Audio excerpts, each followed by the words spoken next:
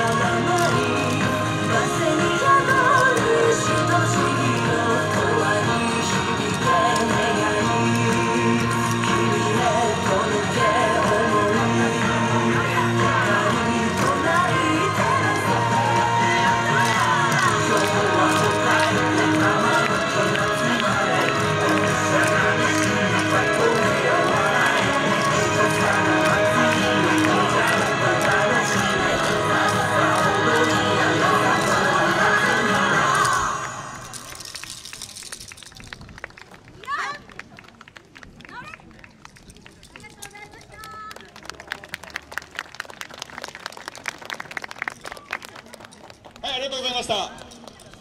え続きまして、つくばのそこいれんさん、よろしくお願いします。